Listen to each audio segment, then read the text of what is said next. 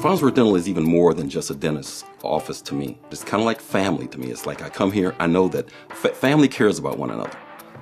They care about me. You're greeted at the door with smiles and laughter by all of the ladies up front. They know you by name when you walk in. My first visit with Dr. Davis was about two hours long, and it was laughter and getting to know each other and fun. And before I knew it, um, everything was done. We love having fun at work and we have fun. we have fun with our patients and we have fun with each other and I don't know how many times a day I hear I felt like I went to a spa or I went to, on vacation instead of going to the dentist and I think that is really special and uncommon.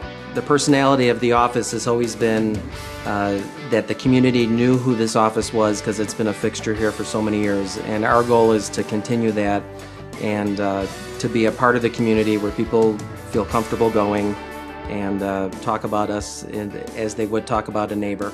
When you come to people that care about your, your dental health, you as a person, your financial commitments, it keeps you coming back. I'm not even, they're not even in my network, and I continue to come. I'm going, I'm going to be a customer for life.